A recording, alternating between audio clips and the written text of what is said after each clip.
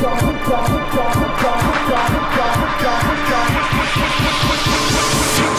of 40 lords! I love this verse.